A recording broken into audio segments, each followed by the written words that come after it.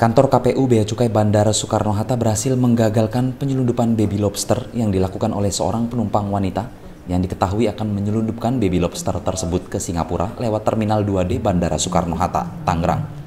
Dadan Farid, Kepala Bidang Kepatuhan Internal dan Layanan Informasi mengatakan ada 33 kantong plastik di dalam koper milik J yang seluruhnya berisikan 18.228 ekor baby lobster.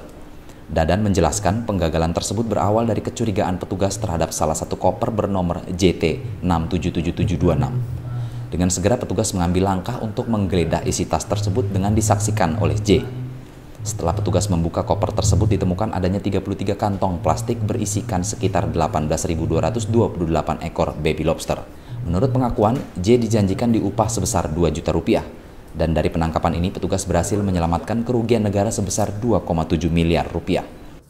Ini tadi dari Polres jelaskan bahwa ini kemungkinan jaringan atau apa yang lagi dikembangkan juga. Ini bisa juga. Estimasi harga 2,7 M.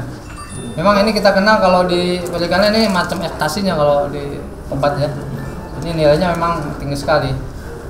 Kalau sampai tugas tidak tergiur, nah aneh juga ini kan harganya mahal juga. Oh, ini, ini harus diantar. Kemungkinan di sana anu demandnya tinggi sekali ya.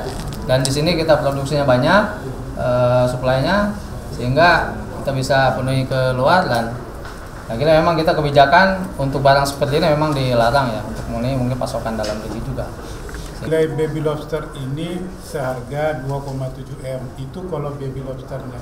Tetapi nilai value-nya ketika dibesarkan kita berhitung saja kalau 50% saja yang hidup dari 18.000 ini dikalikan dengan nilai ukuran 200 gram ke atas itu berapa miliar yang kita bisa harus dapatkan.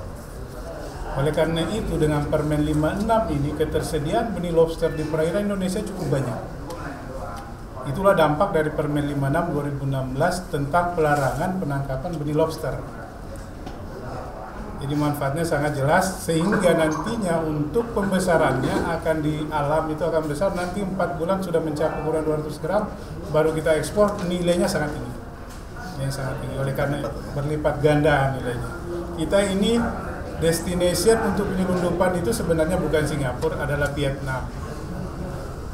Singapura adalah transit flight, transit uh, makelarnya ada di sana oleh karena itu, teman-teman media untuk membantu menginformasikan bahwa kesiapan petugas yang ada di Soekarno-Hatta ini sangat solid sehingga hal-hal ini bisa kita dapatkan semuanya.